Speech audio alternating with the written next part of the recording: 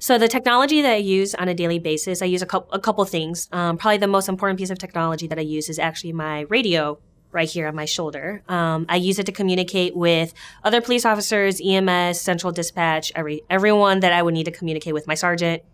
Um, we also, as police officers, have something called a dash cam um, that's located in our car, and that's a little mini camera that's inside our car that, when activated, um, will record everything that's in front of it. So whether it's a normal traffic stop or whether it's a crash scene that I'm on, um, this camera is used uh, for my investigative reports later.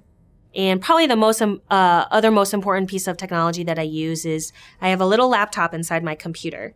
Um, the laptop is used uh, probably conventionally what people think is to print tickets, right? Because um, a lot of police officers write tickets to people on the side of the road. I do use it for that, but I use it for so many more important things, um, which is to write my investigations, to look people up in our system, um, if I'm coming across a suspect, to run his criminal history, um, things like that. So uh, those are probably the three most important uh, pieces of technology that I use.